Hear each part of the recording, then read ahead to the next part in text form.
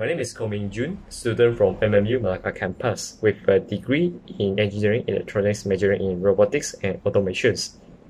So during my degrees, I try to balance myself in both academics and also the co activities so that for me to uh, grow my time management and also the soft skills such as the leadership skills.